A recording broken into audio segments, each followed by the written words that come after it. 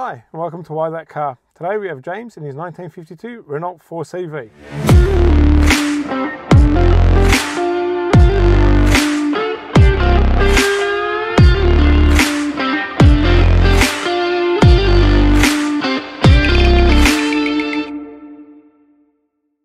So, James, tell us why that car? Bit of a funny story with this one. I um, well, first started with my grandfather. He had one in 1954. It was his first new car. Yep. Um, he got the Renault Bug.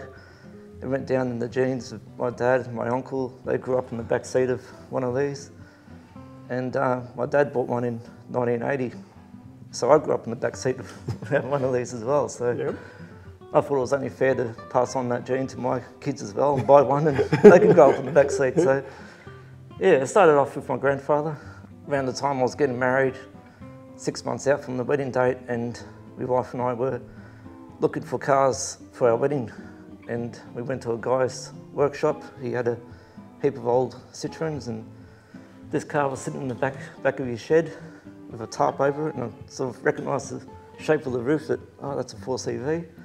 Yep. So I went and had a look at it, pulled the tarp back, went over it, and my wife knew that I've always wanted one, and thought it'd be pretty cool to have our own car and our own wedding.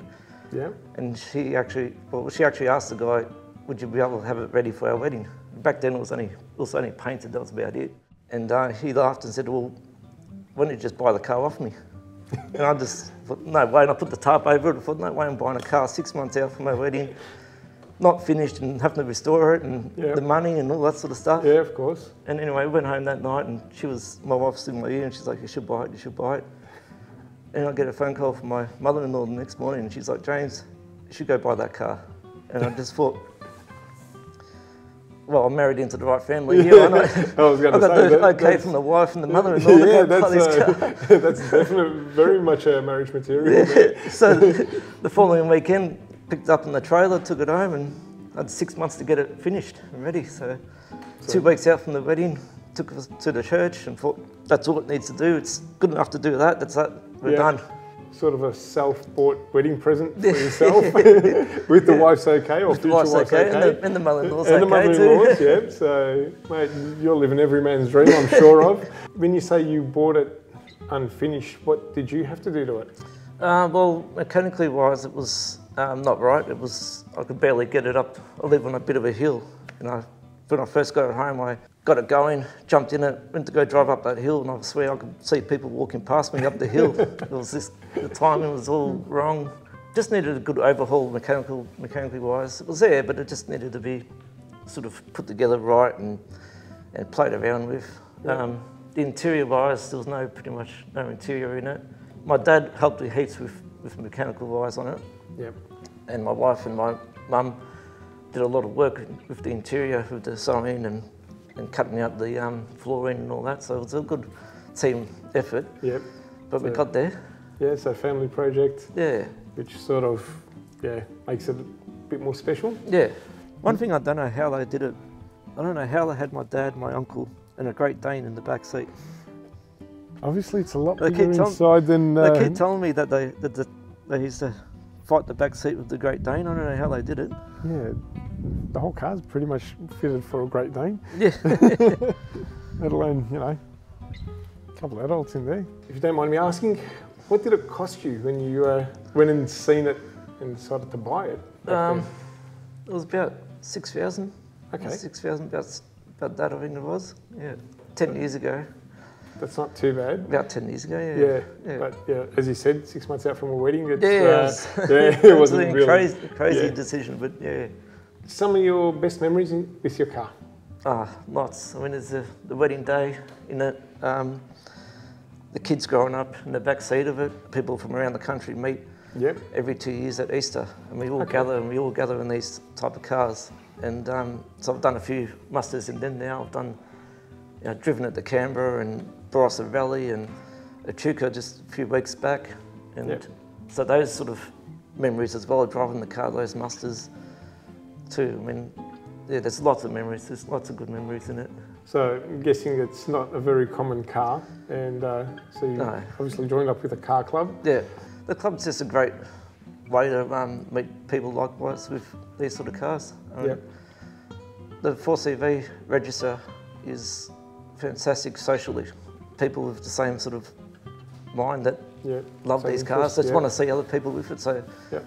To gather and talk to them, and, and the bonus part about it, it's on a long weekend, and we get to do these activities around the around these old country towns as well, and, Yeah. and help the towns out, and that's something to look forward to. And Yeah.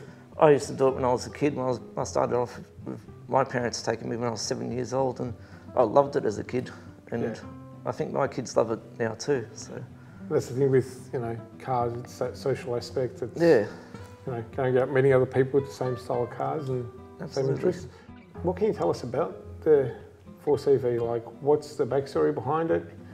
It's got a really, really interesting history. It was actually designed during the Second World War, Yeah. um, towards the end of the World War, and it was designed while France was occupied by Germany.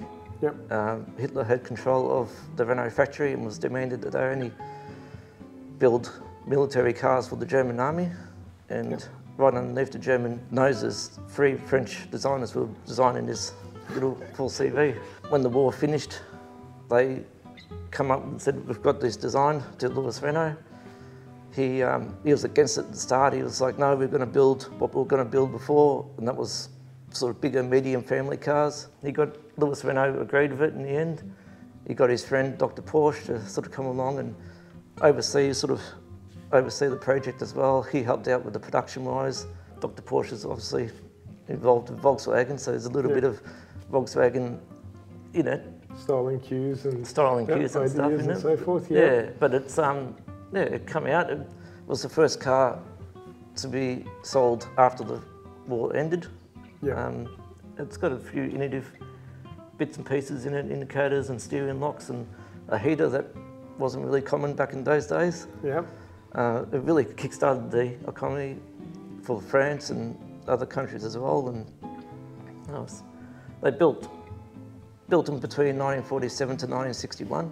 That, that's actually a good run for a model of car, like Yeah. 14 years when you think about it. Do you have a name for your car?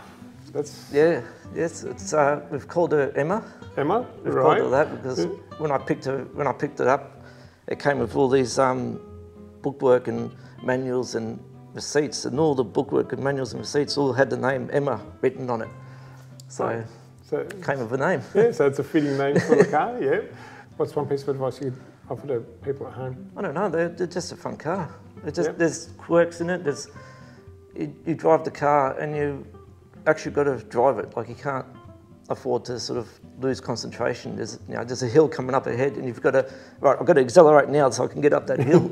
there's, The kids love it. Um, it's just such a fun car to drive and that's what I can give Yep. people advice. Like if you want something that's a bit of a head turner, that's fun to drive, that's unusual. Yeah. That's it. Look at a Renault Yeah. 4CV. Engine capacity on this, I'm guessing, is not that big. No, 750cc. 750cc, right? So, yep, okay. Yeah, so those hills, make sure you don't lose concentration before you yep, so get ready for that yeah, run get up. ready for that run up. I noticed we were looking at it before we started filming for today's episode, but we'll go around it. And it's a rear engine transaxle. Yeah, rear engine, water cooled, three speed gearbox. So there's not many to choose from if you don't concentrate for that hill. Yep. Um, no synchro in first as well, so that makes it a bit more difficult. Okay. Four wheel drum brakes. And yeah, So, so guessing she doesn't go too fast, but then again No. with four wheel drum brakes, you, you, you don't, want to go. you don't want to be going too No, quick. no. Yeah, you want to make sure you can stop. Can we open the bonnet? The Yeah, not bonnet, boot. What do, we, what do you sort of call that? Yeah, it's I'll stop correcting people when they say boot. It's not a boot lid. it's- no, it's well. So that's what I mean. It's like it's like your normal combustion engine, but Yeah, back Well, to front. yeah, back and to front. Yeah, we notice yours is in black. yeah. Was that a standard option colour or Oh, they did come out in black. Yeah. any other colours that they offered them in? Or Oh, they come out in a range of colours. Okay. Yeah, lots. Um, all sort of every, time of these musters, there's always a new 4CV that comes up with a different colour I haven't seen before. And whether it's original or not, I'm not 100% sure, but yeah, I have seen a big range of colours in them. The first ones did come out all in sand uh, yellow. They were the only paint that was left after the war. so the first, from the first early days from 1947 was they were all sand colour yellow. Right. But yeah, after So- that they changed to reds and yellows and Yeah. golds and blues and whites and yeah. So, so you can be certain that if you see a 4CV and it's sand yellow, it's it's, a a very early, yeah. it's an early model one. Yeah. Common issues we had in Australia was back then they used to fill the cars up at the servos, grab that, put the Oh no. petrol down the Oh, radiator. so it's got, it's got water written Water on it now. written on there. Yeah. Yeah. To just sort of. A couple of um, service sta- station attendants used to cop a bit of spray from the radiator, but Yeah, well, that should have told you not to yeah. not to go there. We've gotten to know a little bit about your car and why you've chosen it. A little bit about you. First car you owned. Uh, 69 Renault 10. Right. Okay. Yeah, something different again. Yeah, Rear engine again. Bit of a head turner. I still, I still got it. Okay. Sort of, sort of. I sold it to my dad. Now I sold it to, to my dad to buy this. Right. So those just sort of holding he's on to he's it holding you. on to it. And, Yeah. yeah, knowing that one day I'll get it back. Excellent. So you still got the, f- your first car is still in your family. It's, yeah, still there. Yeah. Yeah. we um, dad and I and my uncle helped get that back on the road. I bought it damaged, Yep. and that was my first car. It was cheap, hundred bucks. Can't go wrong. yeah. Any car you have owned in the past and you regret selling? no, not really. I haven't sold too many. No. I did really enjoy driving the Peugeot 306 GTI 6 that I had.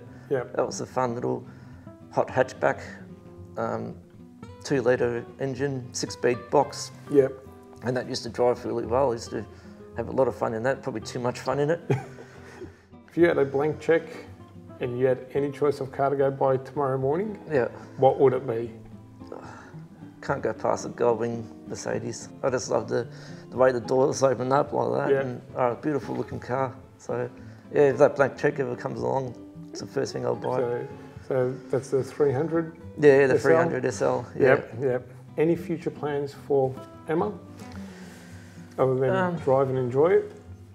Oh, it's an, it's an ongoing restoration.